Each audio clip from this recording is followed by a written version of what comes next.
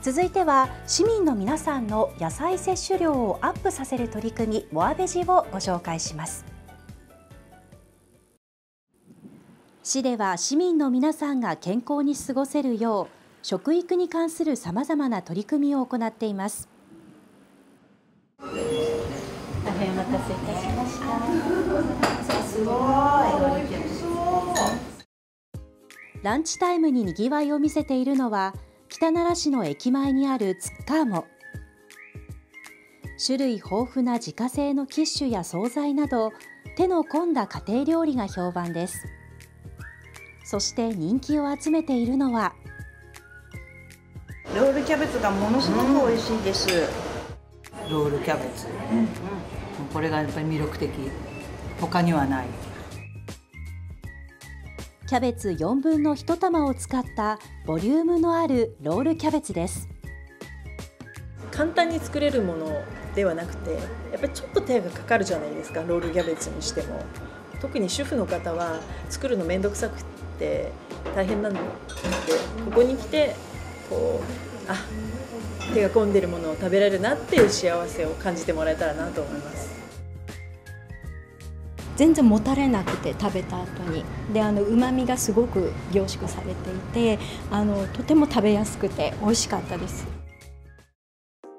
他にも全国初の地域団体商標に登録された船橋人参の生産者とコラボし出荷に不向きな人参を使った船橋産ベータキャロットポタージュスープが人気で令和4年に有料ふるさと食品中央コンクールで農林水産省大臣官房長賞食の千葉の一品を発掘コンテストで銀賞に輝いています。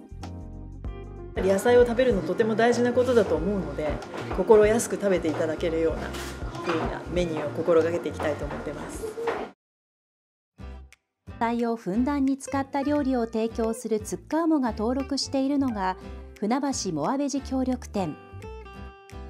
モアベジとはモアベジタブルのことで市の地域保健課が市民の皆さんの健康のために野菜をたくさん食べるように呼びかけています。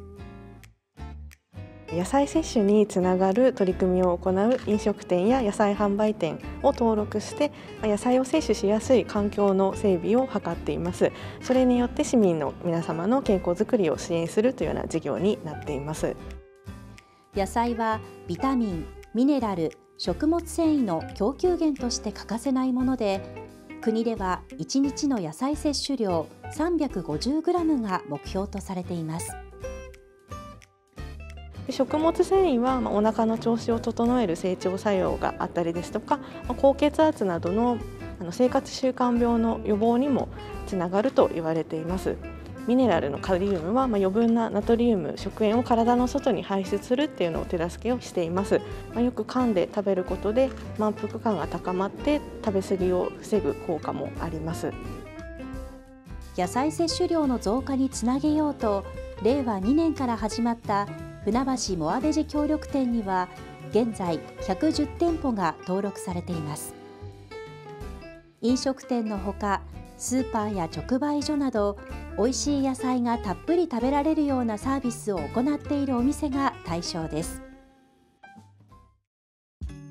こちらは今年9月にリニューアルオープンした市役所近くにある端々ダイニングです。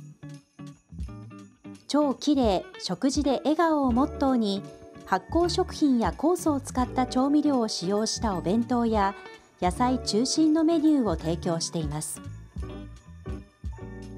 旬の食材を使うっていうことと,、えーと、可能な限り千葉県産そして船橋産のものは、えーと、仕入れられるようにっていうふうには気をつけているしあとはあの農家の方々との直接的なやり取りの中での仕入れができるように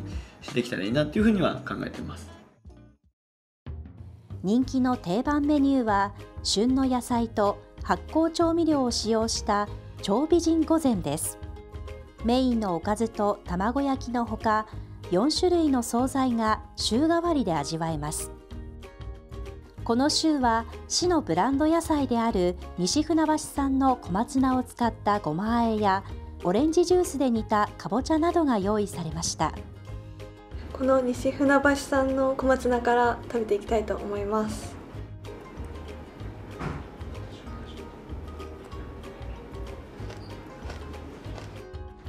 シャキシャキ感と甘みがマッチして美味しいです。もう一つの自慢ベジタブル発酵カレーは肉と小麦粉を使わず生姜や玉ねぎ大豆などをすりつぶし2種類の味噌を加えるなど独特な味わいを出しています。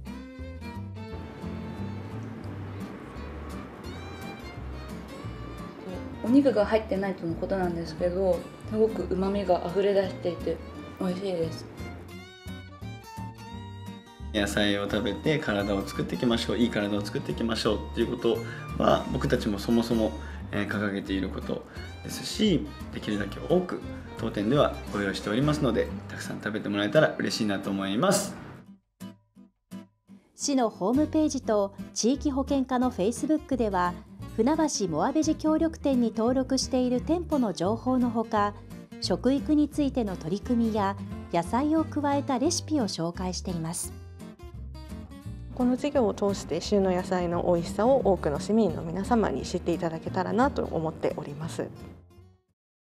市ではウォーキングなどの健康づくりに関する活動でポイントがたまる船橋健康ポイントという取り組みも行っていますそのポイントの獲得方法の一つとして食の応援店に美味しい野菜を食べに行きポイントを貯めて素敵な景品をゲットしてみてはいかがでしょうか。食の応援店の登録店については市のホームページをご覧ください。